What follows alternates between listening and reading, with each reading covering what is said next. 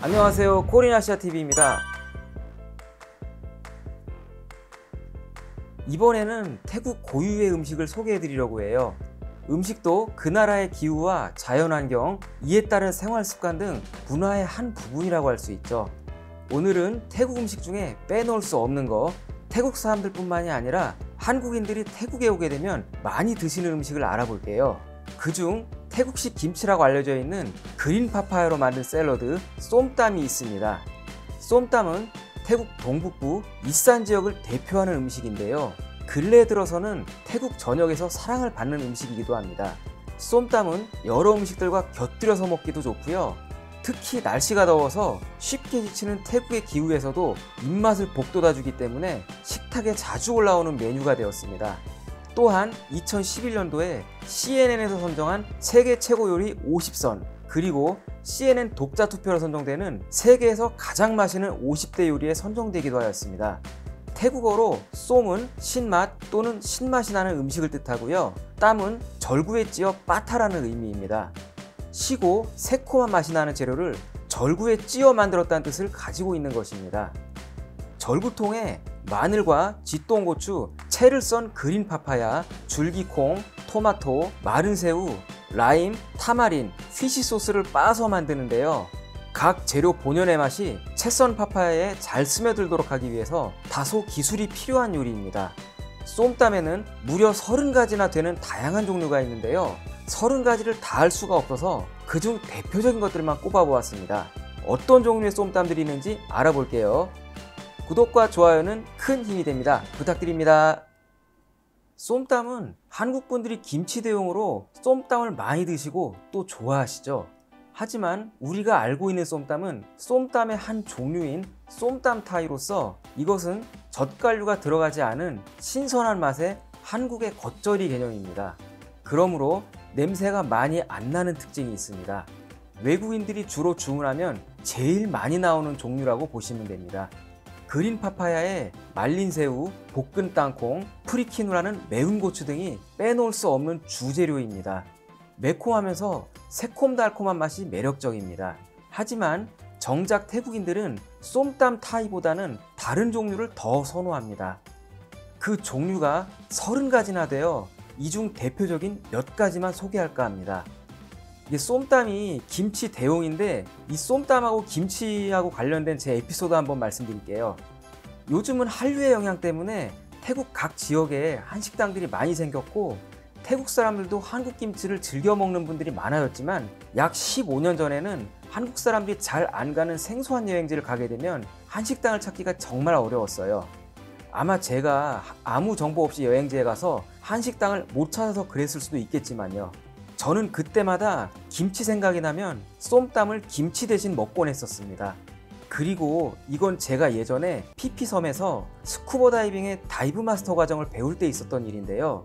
한 달 동안 한식도 못 먹고 김치는 구경도 못 했는데 하루는 그날의 다이빙을 마치고 숙소에 와서 김치 말이국수가 정말 먹고 싶었어요. 그런데 김치가 없어서 대용으로 쏨땀 타이하고 쌀국수 카놈찜만 동네 노점 가게에서 사왔어요. 그리고 얼음을 사오고요. 카놈찜 국수에 쏨땀 넣고 얼음 깨서 넣어가지고 비벼 먹은 적도 있었어요. 나중에 푸켓으로 배 타고 나가서 제일 먼저 갔던 곳이 푸켓타운 인근의 위치스라는 동네에 있는 한식당이었답니다. 쏨땀에서도 종류가 또 여러 가지가 있답니다. 소금에 절인 계란이 들어간 쏨땀 ไทย ไข่เค็ม이 있어요.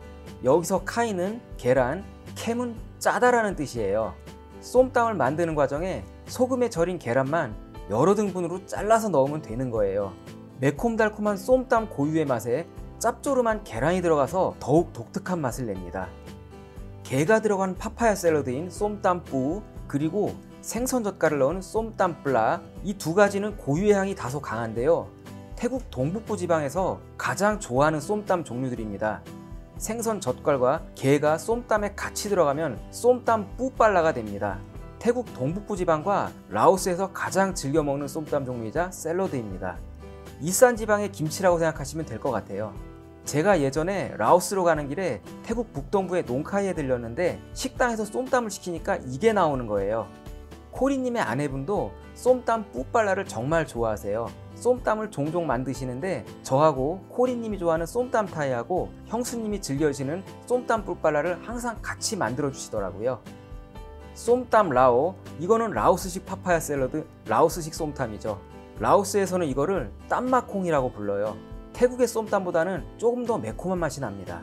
라오어로 파파야는 ໝາກຫຸ່ງ, ຕຳ은 찢는다는 뜻입니다. 말 그대로 찢은 파파야란 뜻이에요. 짭짤한 fish 소스와 게가 들어가는 것 특유의 시큼한 맛도 태국 동북부 지방의 쏨땀 ปูปลาร้า와 거의 같은 과인데 조금 더 매운맛이 강합니다. 긴 콩이 곁들여진 파파야 샐러드 쏨땀 ถั่วฝักยาว가 있습니다. 대부분의 식당에서 찾을 수 있는 쏨땀 메뉴 중 하나인데요.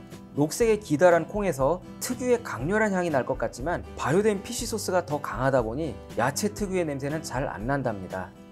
쏨땀 카오폿, 카오폿은 옥수수라는 뜻입니다. 옥수수로 만든 쏨땀 카오폿은 달달하고 맵지가 않아 외국인들이 특히 선호하는 편인데요. 한때 백종원 씨가 이것을 방송에서 다루면서 한국인들에게도 알려지게 되었습니다. 쏨땀 수와 쏨땀의 피쉬 소스와 함께 쌀국수 카놈찐이 곁들여집니다. 쏨땀 무와 파파야의 기호에 따라 원하는 모든 것을 다 넣는 겁니다. 쏨땀 빠 쏨땀 빠는 야생 파파야 샐러드인데요. 콩나물, 마늘, 죽순, 다진 긴콩, 절인 양배추 등이 추가됩니다. 입맛에 따라 구운 생선이나 토마토, 조개 등을 곁들이기도 합니다. 쏨땀 무요, 쏨땀에 베트남식 소시지가 들어간 것입니다. 쏨땀 빠껍, 바삭한 생선과 마나오동이 들어간 쏨땀입니다. 마나오로 맛을 냅니다. 쏨땀 빠행, 마른 생선 또는 구운 생선이 들어가는 쏨땀입니다. 경우에 따라 고등어를 넣기도 합니다. 쏨땀 마커이, 조개가 들어간 쏨땀이에요. 쏨땀 탓, 쟁반 또는 접시에 다양한 종류별로 담긴 쏨땀이에요. 쏨땀에 삶은 달걀, 콩, 베트남식 소시지, 카놈찐, 건새우, 구운 치킨, 찐 농어, 스프링롤 등 다양한 반찬거리 등이 같이 담겨져서 나옵니다. 접시에 담아서 주는 것도 있고 쟁반에 담아 나오는 것도 있습니다. 쟁반 쏨땀 또는 접시 쏨땀이라고 이해하시면 되겠습니다. 쏨땀 캡무, 쏨땀에 돼지고기 튀김, 돼지 껍데기가 첨가된 것이에요. 바삭바삭한 돼지 껍데기가 정말 맛있습니다. 쏨땀 꿍뗀, 꿍뗀이라는 태국식 생새우 무침이 쏨땀에 들어가는 거예요. 꿍뗀에서 꿍은 새우, 댄은 댄스할 때 댄스를 뜻하는데요. 새우가 팔딱팔딱 튀는 모습을 새우가 춤추는 것처럼 묘사한 거예요. 싱싱하게 뛰는 새우들이 마치 초장에 들어간 산낙지가 알아서 양념을 묻히듯 새우들도 자가 양념을 하는 거죠. 새우를 씹으면 새우살이 나와서 입안에서 춤을 추면서 사르르 녹는 느낌이 들어요. 술안주로 추천드리는 음식입니다.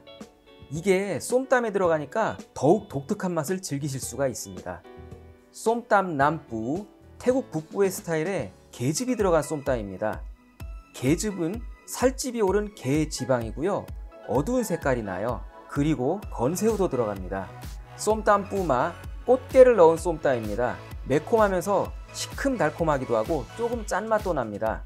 다이어트에 좋은 음식으로 알려져 있어 특히 여성분들이 좋아하는 쏨땀 종류입니다. 쏨땀 허이덩, 절인 홍합을 곁들인 쏨땀입니다. 쏨땀 탈레, 갖가지 해산물들이 들어간 쏨땀이에요. 삶은 오징어, 조개류, 새우 등이 들어가고요. 기호에 따라 게를 첨가하실 수도 있어요. 쏨땀 허이캥, 쏨땀에 꼬막을 첨가한 것입니다. 발효된 피쉬 소스와 고수나물이 들어가기도 해요. 데친 꼬막을 넣고 파파야 샐러드를 버무려 줍니다. 쏨땀 빠묵, 오징어가 들어간 쏨땀입니다. 오징어를 비린내 나지 않게 잘 씻어서 데쳐줘야 됩니다. 쏨땀 꿍솥, 싱싱한 새우가 들어간 쏨땀이에요. 새우를 물로 깨끗이 씻고 껍질을 벗긴 다음 검은 선을 뽑은 후 자르고 철저히 헹궈 주셔야 해요. 그 외에도 파파야 대신 오이, 당근, 과일 등 다양한 종류로 만든 쏨땀들이 있답니다. 최근에는 치앙마이 지역에서 딸기가 생산되면서 딸기가 생산되는 시기인 11월에서 2월 사이에 치앙마이에 가시면 딸기 쏨땀을 맛볼 수도 있어요. 살펴보니까 쏨땀에 여러 가지 추가되는 재료들 중에 게, 새우, 조개, 꼬막 등 해산물 종류가 제일 많았습니다. 북동부 이산 지역은 바다가 없다 보니까 쏨땀 뿌빨라 등 민물에 사는 게가 주재료로 많이 들어가는데 동부나 남부 쪽 바다가 있는 지역으로 전파가 되면서 쏨땀꿍, 빠묵 등 해산물이 첨가된 쏨땀으로 많은 종류가 생겨난 것으로 생각됩니다. 이처럼 태국의 파파야 샐러드 쏨땀에는 정말 종류가 셀 수 없을 만큼 많으니 이번 영상 보시고 쏨땀 종류를 잘 봐두셨다가 태국 식당 가셔서 주문해 보시면 어떨까요? 그리고 쏨땀과 같이 먹으면 더 맛있는 최고의 조합이 되는 음식들이 있습니다. 바로 찹쌀밥 카운니오, 태국식 쌀국수 카놈찐, 태국식 닭고기구이 까이양, 돼지고기 무양 등이에요. 모두 태국 동북부 이산 지역의 토속 요리들인데 태국의 구이 종류 대부분이 이 지역 음식으로 한국인의 입맛과 맞아 한국인들이 가장 많이 찾는 태국 음식들 중 하나입니다. 아, 방송을 하는 지금 이 순간에도 배가 고파지네요. 오늘 방송 끝나고 저녁 식사는 쏨땀에 찹쌀밥, 까이양이랑 무양 먹을까봐요. 시청해주셔서 감사합니다. 저희는 다음 영상에서 인사드리겠습니다. 구독과 좋아요는 큰 힘이 됩니다. 부탁드립니다.